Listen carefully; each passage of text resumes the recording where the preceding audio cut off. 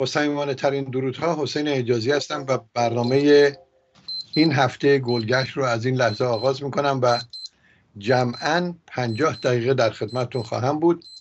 این مژده رو دارم برای دوستداران شنیدن نظرات جناب دکتر عباس میلانی که امروز بعد از مسافرتی که داشتن و مشغولیت زیادی که دارن لطف کردن و مهمان برنامه هستن. در طول برنامه با ایشون صحبت خواهم کرد. موضوع روز طی این چند هفته گذشته که الان داریم میریم وارد پنجمین هفته میشیم حمله آقای پوتین هست به اوکراین. در این مورد با آقای دکتر میلانی صحبت خواهم کرد. در مورد حراسی که گفته میشه جنرال های روسی از آقای پوتین دارن که جرات نمی‌کنن بهش واقعیات رو بگن. بگیر و ببندهایی رو که در روسیه وجود داره و در واقع اطلاعات دروغینی رو که به خورد مردم روسیه دارن میدن. یعنی داده میشه توسط رژیم آقای پوتین. مسئله این گرفتاری هایی رو که هنوز ادامه داره در مورد حمله به کنگره و اون کمیته بررسی جزئیات این حمله و حضور آقای کوشنر جرد کوشنر داماد آقای ترامپ که پاسخ گفته به سوالات نمایندگان در جلسه همین بررسی و مسائل دیگری که باش روبرو هستیم. باز دوباره مطرح شدن آقای هانتر بایدن پسر آقای جو بایدن رئیس جمهور امریکا و اینکه گویا در مسئله مالیاتهاش تخلف کرده و اینجا باز دوباره آقای ترامپ دستور نداشته و از دولت روسیه از آقای, از آقای پوتین دوست صمیمیش خواسته که بیاد و در مورد آقای هانتر بایدن یک اطلاع رسانی بکنه و افشاگری بکنه. در مورد همه این مسائل امیدوارم بتونیم با آقای دکتر میرانی صحبت بکنیم. همچنین در مورد فعالیت های مرکزی رو که مرکز مطالعات ایرانی در دانشگاه استنفورد که سالیان هست که فعالیت پیگیر رو فوق العاده جالبی رو ادامه دادند و به هر حال همونطور که عرض کردم امیدوارم بتونیم همه این مطالب رو با جناب دکتر میلانی در میون بگذاریم. سلام می‌کنم خدمتشون و بعد از تبریک سال نو و باز تو دهنی خوردن آخوندها علا, رقم تمام تلاشی که دارن می‌کنن میرن منبر و بر علیه نوروز صحبت می‌کنن و این کاری رو که آقای رهبر عالی قدر کردن که حتی سفره هفسین نداشتن اینجا در جلسه که صحبت می‌کردن و خب آقای رئیسی هم که کوچک ابدالشون هستن به همین طریق. آقای دکتر ممنونم از شرکتتون در برنامه و امیدوارم این سال پیش رو سال بهتری باشه از سال گذشته و سالهایی که پشت سر گذاشتیم. سلام قربان به شما و به همه بینندگان عزیزتون. با تاخیر و شرمندگی سال نو رو تبریک میگم. سینزده به در رو هم امیدوارم به خوبی و خوشی و سلامت همه به سر بکنند به کوری چشم اونهایی که با سینزده به در و با سال نو نوروز مخالفن. شگفتانگیزه که چهارده قرن است که اسلامیونی شبیه به آقای خامنه و رئیسی و خمینی سعی کردن با نوروز بجنگند و موفق نشدند و یاد هم نمی‌گیرند و تعریف آدم جزمی آدم خشک مغز دقیقا همینه که نه از تجربه تاریخی یاد می‌گیره نه از تجربه سیاسی امروز یاد می‌گیره. حال سال نو رو برای همه بینندگان عزیزتون سالی خوش و پر سلامت و پر آزادی و رها از قید جهل و جنگ. امیدوار هستیم. دکتر میلانی شروع بکنیم از این فاجعه و مصیبتی که واقعا یک قسمت دنیا باش روبرو هست. اوکراین این مملکتی که مملکت پیشرفته است از نظر تکنولوژی از نظر محصولات کشاورزی گندم و ذرت و سایر مسائل و الان دیگه شهرهای بزرگ این کشور پیشرفته در واقع داره با خاک یکسان میشه. ماریوپول که گویا گفته میشه که دیگه هیچ ساختمانی باقی نمونده و معلوم نیست که آقای پوتین هدفش چی هست از این کاری که کرده و به زم بسیاری از تحلیلگران یک اشتباه محاسبه عجیب غریبی رو مرتکب شده که توش گیر افتاده.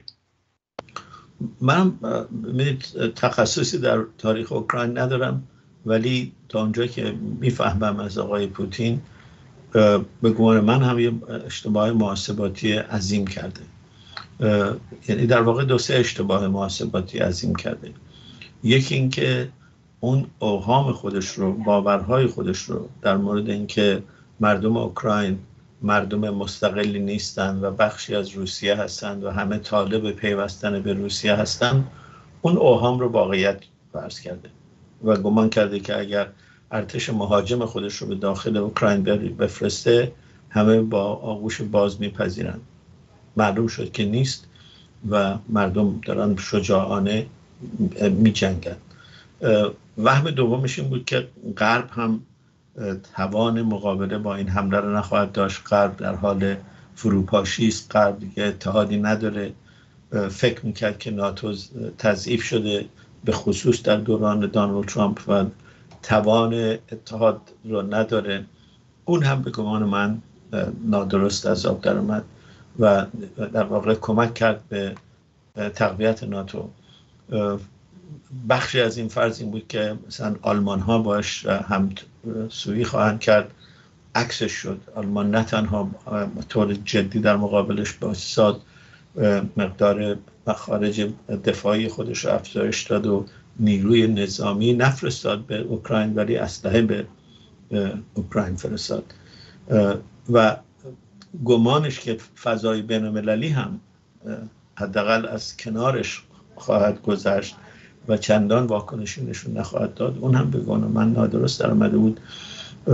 و بالاخره آخرین گمان به گمان من نادرستش این بود که ارتش روسیه به لحاظ توان نظامی برترش خیلی زود اونجا به موفقیت خواهد رسید.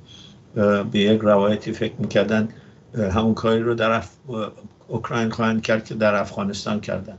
ضربتی وارد پایتخت میشن رئیس جمهور رو می‌گیرن اعدامش می‌کنن تبعیدش می‌کنن حبسش می‌کنن هر بلایی که روسا به هر حال در میارن در سر بر سر کسانی که باشون نیستن و یک دولت دست نشان نمیشونن ارتش روسیه بعد از یک دستاوردهای اولیه چند روزه الان می‌بینیم که یک ماه عملا گرفتاره و حاصلش این شده که شهرها رو از دور با توپ می‌زنه از هوا با بالا با هواپیما می‌زنه و یک فاجعه انسانی ایجاد کرده و به گمان من بازنده نهایی خودش خواهد بود.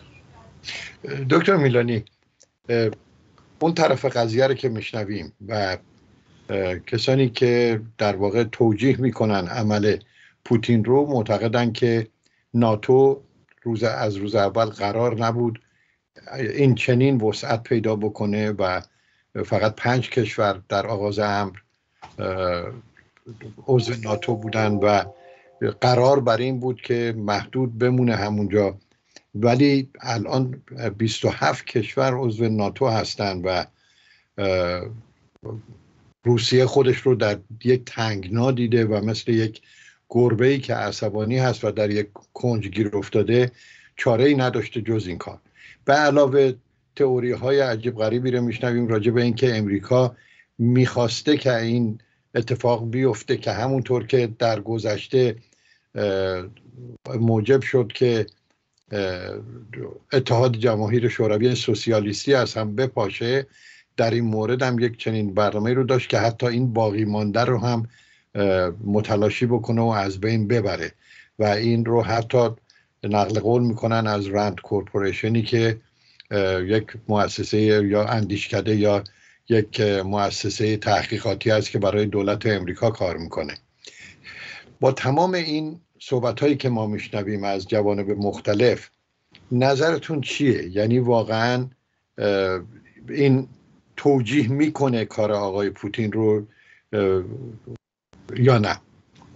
به نظر من قطعا توجیه نمی‌کنه ولی این به اون معنا نیست که اگر اقدام پوتین قابل توجیه نیست غربی ها در سرعت گسترداندن ناتو اشتباه نکرد. اون یه بحث جداگانه است. به نظر من خیلی از صاحب نظران خود آمریکا نه فقط این مبلغین و منادیان و مالکشان روسیه. معتقدند که آمریکا در این زمینه غربی ها در این زمینه شاید به سرعت بیش از اندازه عمل کردن. شاید اصولا باید یه حریم هایی رو خودشون رایت می‌کردن. اون برش هم البته هست. اون برش هم کسانی هستن مثل همکارم در اینجا آقای مک مکفال که بله. واقعا عکسشه. اگر ما تا اینجا تا این 27 کشور نرفته بودیم الان روسیه اونها رو هم سعی می‌کرد ببله. اگر ولی من بیشتر تمایلم به همون نظر اوله که بایستی شاید پیوستنشون به ناتو شاید بایستی با تومنینه بیشتری انجام می‌شد. ولی قطعا اینکه شما یک کشور مستقلی رو یک کشوری که هیچ گونه خطری برای شما نداره هنوز به ناتو نپیوسته. صحبت جدی پیوستن به ناتو هم نشده. اینجوری بهش حمله بکنید 150 هزار تا نیرو ببرید بفرستید این شهرها رو داغون کنید چهار میلیون رو آواره بکنید. ده ها هزار نفر از دو طرف به نظر میاد تا به حال کشته شدن. برای چی؟ و تمام اون چی که فکر می‌خواست فکر می‌کرد می‌تونه متحقق بکنه به گمان من متحقق نکرد. اینکه آمریکا با اون گزارش رند اتفاقا خوندم اینکه آمریکا تله براش چید و می‌خواست که این حمله رو انجام بده و در واقع زمینه سازی کرد به نظر من وهم تئوری توته است.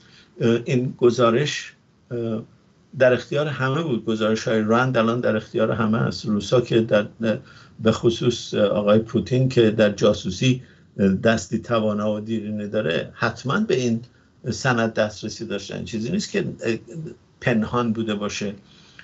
وقتی که شما اگر فرض رو بر این بذارید که این به هر حال یک سناریوست در اونجا فرض داریم بذارید که رند می‌خواستی چنین کاری انجام بده. شما که اون وقت به دام این میفتید بلاحت مضاعف شماست. شما اگه می‌دونید که براتون دام چیدن و این بلاها رو می‌خوان سرتون بیارن بدون تدارک کافی با این اوهام و فرضیات غلط و گزارش های به گمان بسیاری از متخصصین نادرست از طرف ارتش وارد میشید نشون بیکفایتی شماست. به علاوه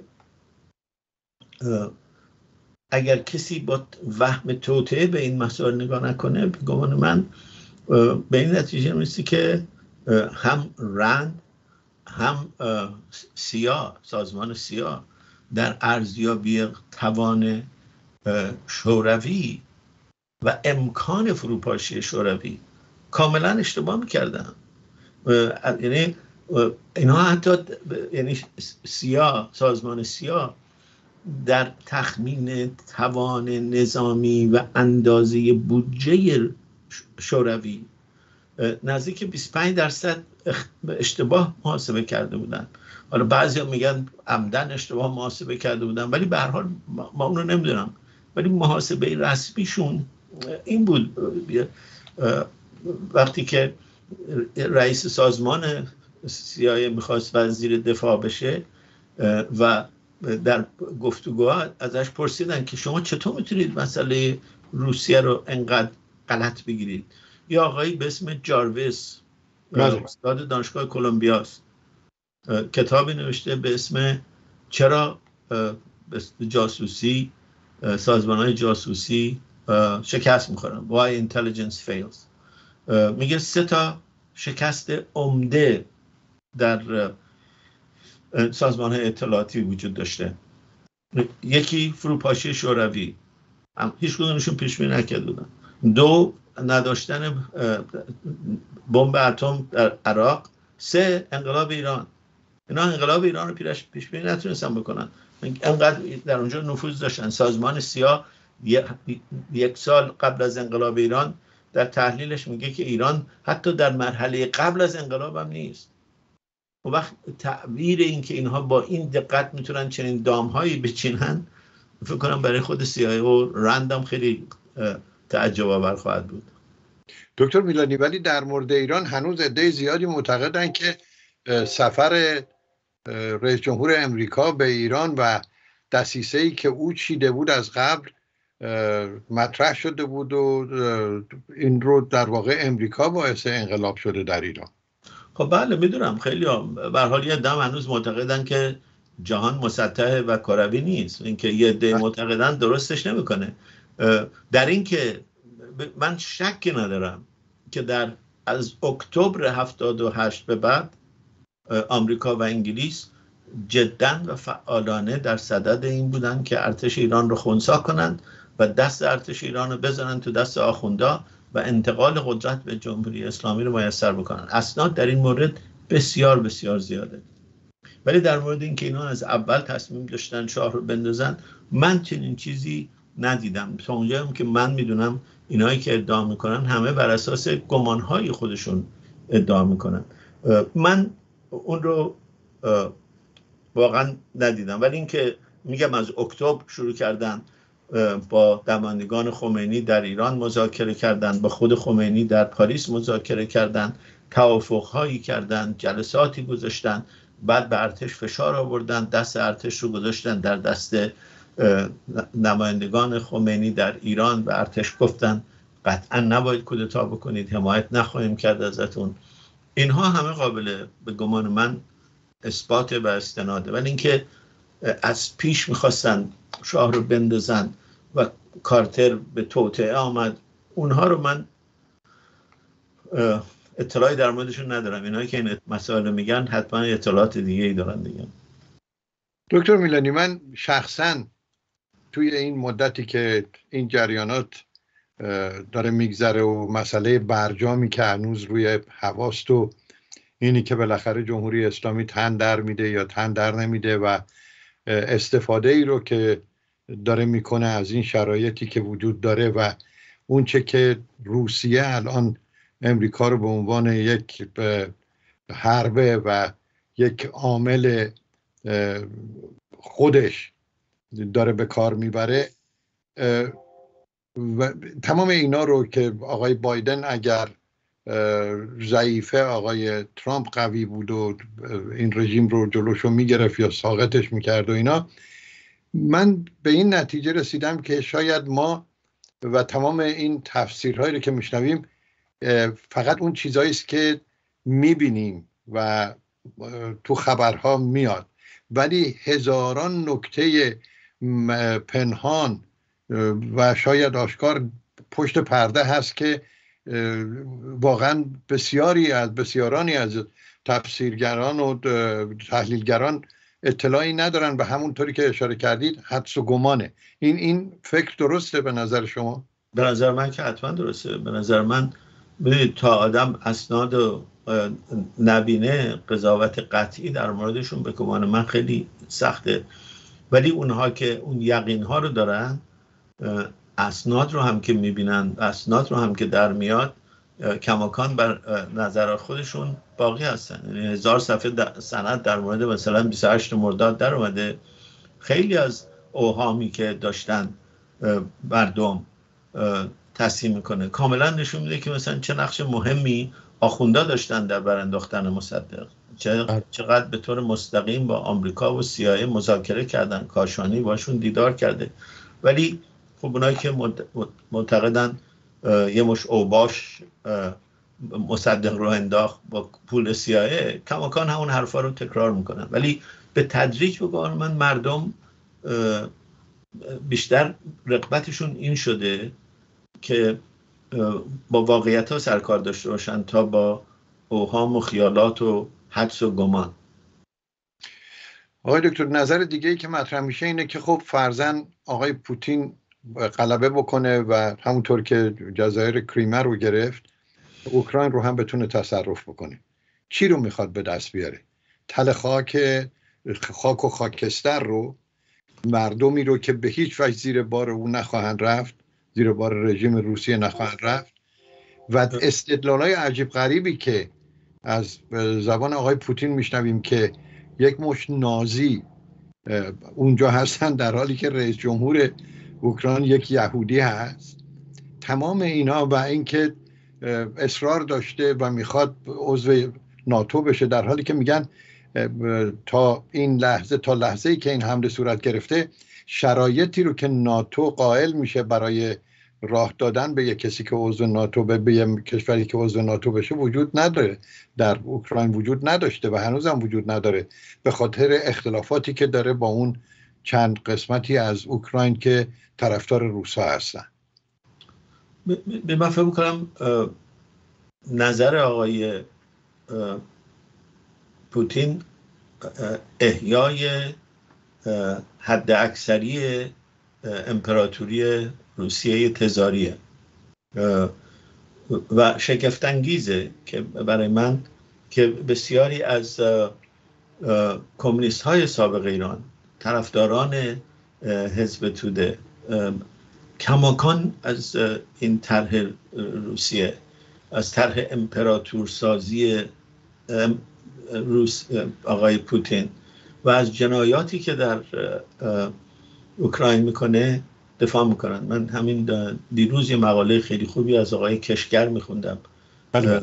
که نوشته که کمونیستایی که توجیهگر تجاوزهای وحشتناک شدن. برای من واقعا شگفت انگیزه که چطور میشه کسی ایرانی باشه و متوجه نشه که چه صدماتی روسیه در طول تاریخ به ایران زده شوروی در طول تاریخ به ایران زده و روسیه بعد از فروپاشی و روسیه تزاری آقای دکتر از همون همون روسیه تزاری. من هیچ کسی هیچ کشوری به اندازه روسیه تزاری از ایران سرزمین نگرفته. دکتر میلانی سوال بعدی من همین بود.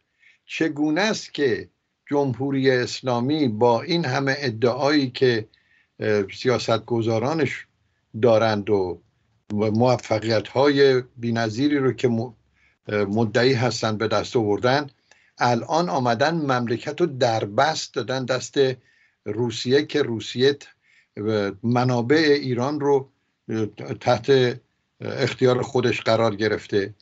و در تمام مدت در تمام رأیگیری هایی که شده در طول همین دورانی که جمهوری اسلامی روی کار بوده بر علیه جمهوری اسلامی رأی داده در سازمان ملل.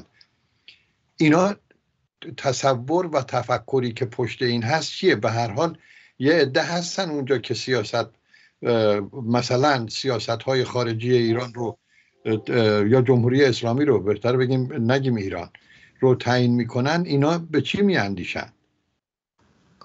والا کسان زیادی نیستن که حرفشون در سیاست خارجی در رو داره. حرف سیاست خارجی الان 35 سال در واقع بیش از هر کس در دست آقای خامنه ای بوده و آقای خامنه ای بیش از 35 ساله که نشون داده با ذلت کامل حاضره که منقاد روسیه بشه ایران رو منقاد روسیه بکنه. ایران رو منقاد چین بکنه و از فرصت های تاریخی که برای ایران به وجود آمده در طول این 42 سال بعد از سقوط شوروی بعد از این جنگ اوکراین حاضر نیستن جرأت ندارن جرأت ندارن استفاده بکنن. ایران به عنوان دست کم دومین کشور صاحب منابع گاز در جهان الان بایستی جدا و فعالانه در بازارهای اروپا فعال می‌شد. ایران اصلا خودش رو کشیده کنار. برای اینکه ارباب گفته حق شرکت ندارید حق صحبت ندارید ایران حتی حاضر نیست وارد این به صلاح رقابت بشه. بلاهایی که بر سر توافقشون با دریای سر دریای خزر در آوردن. میلیاردها میلیارد دلاری که واقعا در چاه ویل این برنامه اتمی احمقانه ریختن و همش به جیب روسا رفته در این سالها. یعنی میزان انقیاد فکری آقای خامنه ای به روسیه و وابستگی به روسیه و وابستگی به چین شگفتانگیزه و به گمان من یک لکه ننگ عظیمی در تاریخ خواهد بود. یه زمانی یکی از اینا گفته بود که امضای هیچ آخوندی پای قرارداد استعماری نرفته بگذاریم از اینکه خب آخوند کاری نبود که امضای قرارداد نشسته مسجد کار خودشون می‌کردن. ولی از وقتی که این رژیم سر کار آمده ترکمنچای پشت, پشت ترکمنچای امضا کردن و استقلال ایران.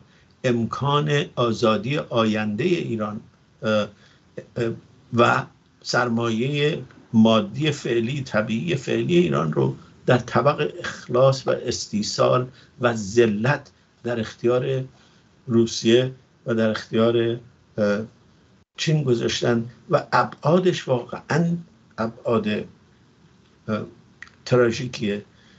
و نتیجه استبداد فردی آقای خامنه است. همونطوری که سیاست پوتین هم در اوکراین نتیجه استبداد فردی اونه. دکتر میلانی در تایید فرمایشتون در همین شرایط حمله روسیه به اوکراین بزرگترین فرصت طلایی برای ایران پیش آمده بود که می‌تونست چه استفاده سرشاری ببره از این موقعیت که نکرد. دکتر میلانی شما مسافرت بودید. و سخنرانی داشتید و به هر حال سفری بود که مثل همیشه سفرهای شما پربار هست و پر از صحبت هایی که میشه راجبش ساعت ها صحبت کرد. ممکنه اگه علاقه من هستید توضیح بدید راجب این مسافرت اخیرتون. والا مسافرت اخیرم در واقع دو, دو بخش داشت. قسمت اولش رفتم به دیدن آقای گلستان و مدت ها بود که آقای گلستان صحبت از این می‌کردن که از حال می‌خوان ترتیبی در مورد کتاباشون اینا بدن یه مقداری در مورد اون کارهای اسنادشون و کتابخونه هاشون کتاباشون صحبت کردیم. قسمت دومش در واشنگتن بود. بله. در دانشگاه جورج تاون واشنگتن. دو خانم ایرانی که خواهر هم هستن خانم دکتر خانم گلی شیخ الاسلامی و خانم باتمان لیلی باتمان قلیج اینها یک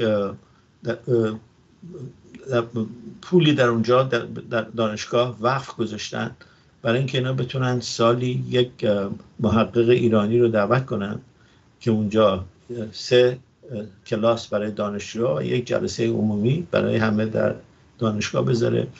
برای اینکه شگفتانگیزه که دانشگاه جورجتاون و دانشکده تربیت دیپلماتاش که یکی از معروفترین در جهان هست مرکز مطالعات ایران شناسی نداره.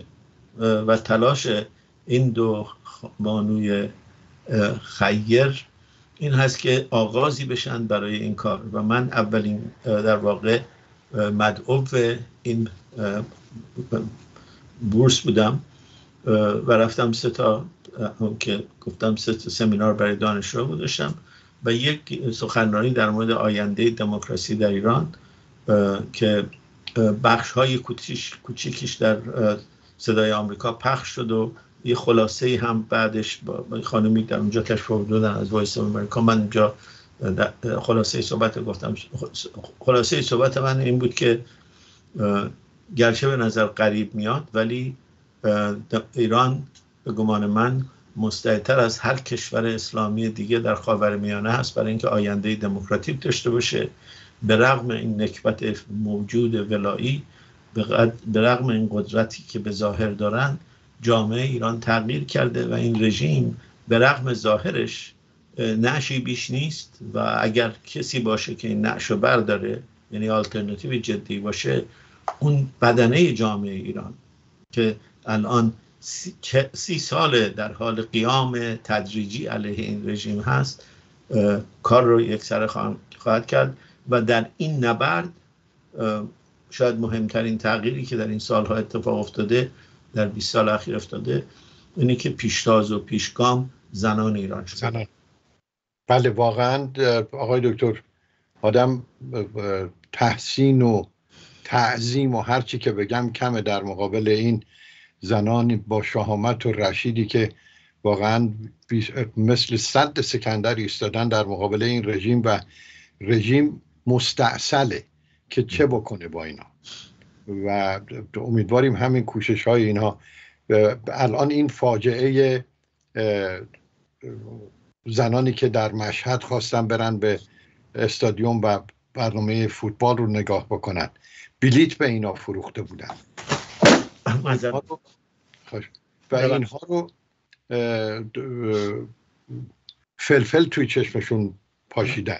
گاز و اشکاور و بعد مسئولین و نمایندگان ولی فقیه گفتن ما اصلا نمی‌دونیم کی این کارا رو کرده. یعنی این این بازی عجیب غریبی رو که ما سالیان سال شاهدش هستیم. ببینید دکتر میلانی نظرتون راجع به برجام. این صورت خواهد گرفت یا نه؟ و کجای کار هستیم؟ برید در مورد فوتبال این رو بگم که به نظر من مسبب اصلی این کارا معلومه که از بله. خط خامنه ای همین اخیرا چاپ شده که میگه من با حضور زنان در ورزشگاه بله. مخالفم. یعنی احتیاجی نیست. بعضی ها میگن ببینیم کیه کیه. احتیاجی نیست ببینید کیه.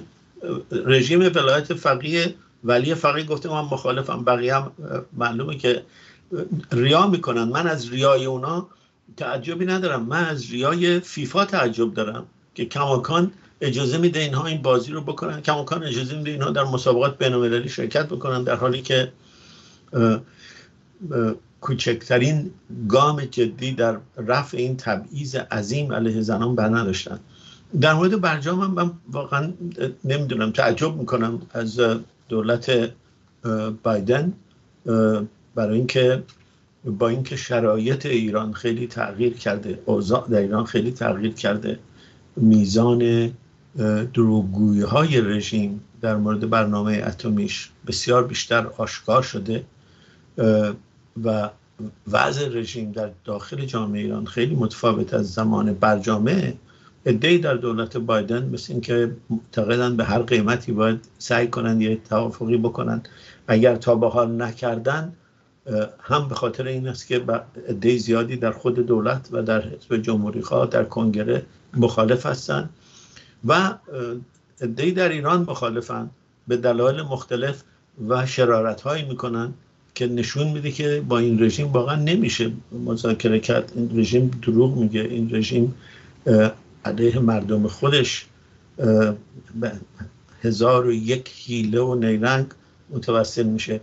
و این گمان که الان میشه برگشت به برجام 2015 به گمان من یک وهم ساده انگاران است. و دلیل پافشاری دولت بایدن بر این بر من اصلا روشن نیست. ولی حداقل در گمان من تا اونجایی که من می‌دونم تا اونجایی که من خوندم به گمان من سیاست نادرستی است. من با برجام موافق بودم. فکر می‌کردم ایرادهایی داره ولی فکر می‌کردم که وجودش بهتر از نبودشه. الان اصلا متقاعد نیستم. دکتر میلانی فکر نمی کنید که یه توجیهی که می‌کنن در این زمینه اینه که الان امریکا به شدت برای تامین نفت اروپا که یک پارچه تحریم شده و روی صادرات روسیه ایستاده امریکا چاره ای نداره که حتی با ونزوئلا و ایران که دشمنان قسم خورده هستن و الان کارهایی رو که نیروهای نیابتی جمهوری اسلامی دارن انجام میدن در یمن و حمله به تاسیسات عربستان ادامه داره. عربستان خودش رو کنار کشیده حتی پاسخ تلفن های آقای بایدن رو ندادن.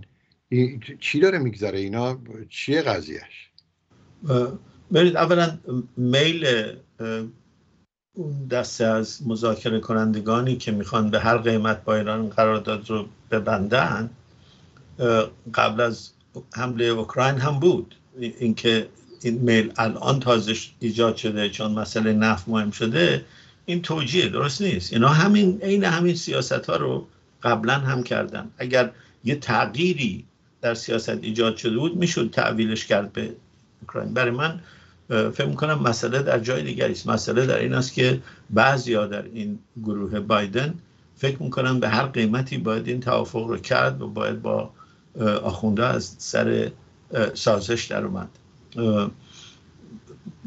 در مورد خاورمیانه به نظر من آشکارا بعضی از کشورها حتی عربستان به این نتیجه رسیدن که آمریکا در حال یک عقب نشینی جدی است از خاورمیانه و اونها بایستی برای خودشون متحدان جدیدی پیدا بکنن و پیدا کردن. یعنی چین مقدار قراردادهایی که در همین دو سال اخیر با عربستان بسته شگفتانگیزه. چین و روسیه الان به طور فعالانه در خاورمیانه دارن فعالیت می‌کنن و به نظر من حتی در اون زمینه هم رژیم جمهوری اسلامی بی کفایت بوده و اینکه تمام این امتیازها رو به چین و به روسیه داده ولی اونها هنوز هنوزه کماکان بیشتر سودای عربستان رو دارن. قراردادهایی که چین با عربستان بسته چندین ده برابر قراردادهایی است که با ایران بسته در این سالها. دکتر میلانی قبل از اینکه سوالم رو در مورد شرایطی که باش روبرو هستیم اینجا و اون کمیته بررسی علل و برنامه ریزی که شده بود برای حمله به کنگره می‌خواستم قبل از اینکه اون سوال رو مطرح بکنم در مورد فعالیت های مرکز سوال بکنم که در آخر کار کم نیاریم وقت و بشنویم از شما. خیلی متشکرم. ما اتفاقا هفته دیگه جمعه یک برنامه داریم. ساعت ده به وقت کالیفرنیا شروع میشه. برنامه از طریق زوم خواهد بود و می‌تونید براش ثبت نام بکنید به سایت ما. این برنامه است در بزرگداشت آقای دکتر یاشاتر. شعن نزول آغاز این جلسه چاپ کتابی است که از مجموعه یادداشت های دکتر یاشاتر هست در ایران نامه و ایران شناسی که سرکار خانم دکتر ماندانا زندیان همت کردن اینها رو جمع کردن. کتاب بسیار بسیار جالب بایسته ای هست. ما از تلاش برای برگزاری یه جلسه به اون به نتیجه رسیدیم که باید یه جلسه وسیعتری برگزار کنیم یه جلسه خواهد بود که خانم مهناز افخمی بله، در بله. مورد آغاز بنیاد مطالعات ایران شناسی که در ایران نامه در واقع از اونجا شروع میشه و دکتر یاشاتر به گفته خود خانم افخمی باشون همکاری داشتن در در واقع آغاز این نهاد برنامه ریزی برای نهاد. ایشون در مورد نهاد مرکز صحبت خواهند کرد که می‌دونید با کمک مالی ولازت اشرف درست شده بود. ایشون یه پولی دادن و با اون پول درست شد. آقای دکتر بنو عزیزی در مورد جایگاه دکتر یارشاتر در ایران شناسی صحبت خواهند کرد و خانم دکتر زندیان در مورد کتابشون صحبت خواهند کرد و بعد جلسه رو برای بحث و اتفاق دیگری که افتاد همین هفته چاپ کتابی است که میج پابلیشر ناشرش هست بله. من و کمک یکی از همکارام ادیتورش هستیم. آقای ببخشید. ادامه بدید. من بله، می‌خواستم اسم آقای ناشر رو عرض بکنم میج رو. محمد باتمان قلیچ آقای باتمان قلیچ بله. بله آقای باتمان قلیچ و خانم نجمیه باتمان قلیچ بله. بله, با هم. اتفاقا این, این کتاب دو بخش داره. الان از طریق میج میشه سفارشش داد. بخش اولش مقالاتی است که در کنفرانسی که ما در اینجا برگزار کردیم در بزرگداشت مسکوب مقالات به انگلیسی هست. بعد حدود 100 صفحه هم از اسناد آقای مسکوب. برخی از نامه هاش برخی از یادداشتهایی که در مورد شاهنامه تهیه کرده دست نویس بعضی از ترجمه هاش ترجمهش اونجایی که مرتزا کیوان تصحیح کرده. یه در واقع نمونه انتخاب کردیم از این مجموعه عظیم اسنادی که در دانشگاه ماست الان و عنوان انگلیسیش هست شارخ مشکوب روشن فکری برای زمان ما. و ناشرش همون میجه خیلی از لحاظ کتابت هم خیلی زیباست. رو جلدش هم تصویری از بخشی از یک نقاشی زنده رودیه. یه نکته دیگری که در کنفرانسی که سال آینده برگزار خواهیم کرد ولی الان می‌تونم نویدش بدم اینه که ما یک مجموعه نفیسی به مجموعه آرشیو دانشگاهمون اضافه شد. و اون 24 دفتر یادداشت های روزانه خانم دکتر هورا هوری مقدمه. هوری بله. مقدم که معلم بوده مدیر بوده استاد دانشگاه بوده از بنیانگذاران انجمنهای فارغ التحصیلان دانشگاه زنان ایران بوده زن خیر بوده. هر روز دختر عبدالله مصطفی بوده. و مادر حمید و مریم مریم مقدم بوده که هر دو اسم این دوتا رو میگم. برای اینکه نشان از دو کس دارد آن نیک نشان از بله نشان در واقع سه کس. برای اینکه مادرش هم از خانواده اردلان ها بوده و یادداشت های روزانه خیلی دقیقی نوشته. هر روز زندگیش رو تقریبا نوشته. و اونها رو خانواده مقدم به لطف به دانشگاه دادن و ما برای رونمایی از اون سال آینده کنفرانس شبیه به آنچه که در مورد مسکوب برگزار کردیم برگزار خواهیم کرد. اینها به زبان فارسی خواهد بود آقای دکتر. اینها به زبان فارسی است. کنفرانس قاعدتا به زبان انگلیسی خواهد بود. یادداشت‌ها به زبان فارسی است. خانم مریم مقدم زحمت کردن کشیدن مقدارش رو ترجمه کردن مقدار دیگریش هم داره ترجمه میشه. امیدواریم تا قبل از این حتما تا قبل از کنفرانس بخش های مفصلی ازش قاعدتا چاپ خواهد شد. بله متشکرم. آقای دکتر بپردازیم به این شرایطی که در امریکا باش روبرو هستیم. علا رقم تمام این شرایطی که دنیا باش روبرو هست و الان به طور بی سابقه یک جهان در مقابل پوتین ایستاده و جز کشورهایی مثل جمهوری اسلامی و ونزوئلا و احتمالا سوریه که محلی ندارن در این اوضاع اونها طرفداری می‌کنن و دوباره فعالیت های پیگیر آقای ترامپ رو شاهد هستیم که با به اصطلاح باز کردن یک یعنی افتتاح یک رسانه ای که مورد نظرشون هست که واقعیات رو به مردم میگه و فیک نیوز نیست و دروغ نمیگه. نه تنها از آقای پوتین تجلیل می‌کنه به عنوان فردی هوشمند و بسیار زرنگ ازش باز می‌خواد که هانتر بایدن رو رسوا کنه و بیاد راجبش آنچه که او فکر می‌کنه که می‌دونه آقای پوتین رو مطرح کنه. و برای اولین باری که دیروز و امروز گویا فقط داریم میشنویم از وزیر دادگستری امریکا که تا به حال مورد انتقاد بود که چرا در مورد پیگیری این جریان پشت پرده حمله به کنگره اقدامی نکرده رسما دیروز اعلام کرد که ما این کسانی رو که آمدن و تقلب کردن گفتن که الکتور هستن و غیر اینا همه رو تحت تعقیب قرار خواهیم داد و خواهیم داد و محاکمه خواهیم کرد. هرگز این رو در صحبت های قبلیمون هم با شما مطرح کردم. هرگز شما یک چنین تفرقه ای رو بین مردم امریکا و دو حزب حاکم امریکا شاهد بودید یا نه؟ من هرگز ندیدم در زندگیم که رئیس جمهور سابق آمریکا در حینی که کشورش در یک چالش جدی با شوروی است یا هر کشور دیگری و در این مورد شوروی است روسیه هست رسما از پوتین بخواد که نه فقط در مورد هانتر بایدن بلکه در مورد خود رئیس جمهور اسنادش رو رو بکنه. گفت در مورد رئیس جمهور و زن شما اسناد دارید رو بکنید. یعنی اصلا شگفتانگیزه برای من که چنین شرایطی در یک چنین شرایط خطیری.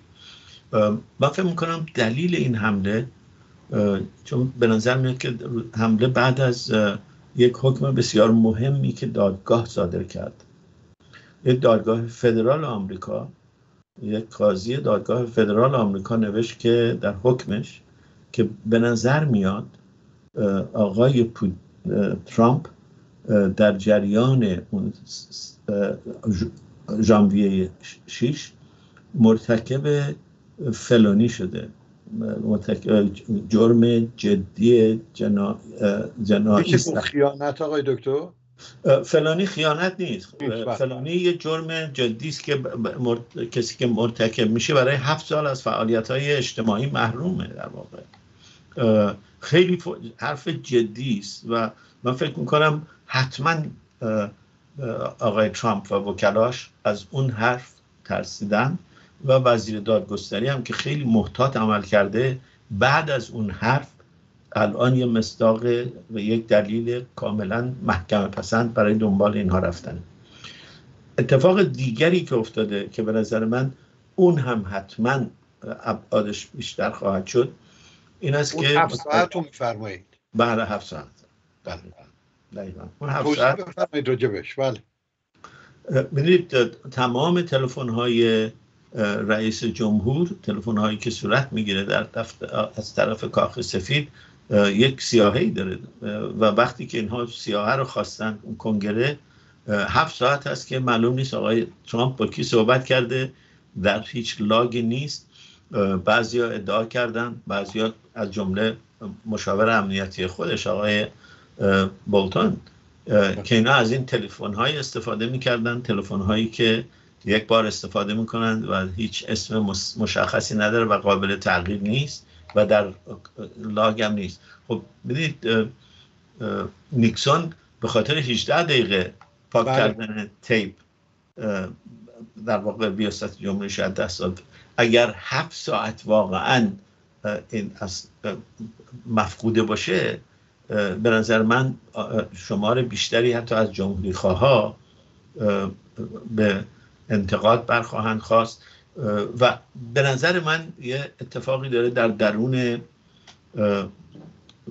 حزب جمهوری خواه میفته یک همه پرسی شده بود در مورد اینکه چند درصد از مردم آمریکا به زلنسکی و چند درصد به پوتین علاقه مندم. پوتین تقریبا در حزیز چیز و زلنسکی هفتاد مثلا چند درصد بهش گفتن اعتماد دارن.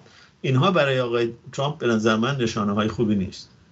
آقای دکتر این این وقفه ای که پیدا کردن بیشتر از حتی هفت ساعته هفت ساعت و سی و هفت دقیقه بله. که دقیقا همون زمانی است که این حمله داشته صورت می‌گرفته به کنگره. بله. بله. آقای دکتر میرانی بی نهایت سپاسگزارم. چطور و امیدوارم در آینده نزدیک بتونم از حضورتون در برنامه برخورد من باعث افتخار. خیلی ممنونم. بینندگان عزیز سپاسگزار هستم که این لطف کردید و وقت گذاشتید. بیننده برنامه بودید. از جناب میلانی که مثل همیشه سپاسگزارم. از رایان عزیز سپاسگزارم. توصیه می‌کنم نشریات فارسی زبانی رو که با زحمت زیاد تهیه میشن تهیه بفرمایید و مطالعه بفرمایید کتاب های خوبی رو که دارن منتشر می‌کنن شرکت کتاب و سایر ناشرین بخرید و کمک بکنید به این مسئله. تا فرصت دیگر و برنامه دیگر روز و روزگار به شما خوش.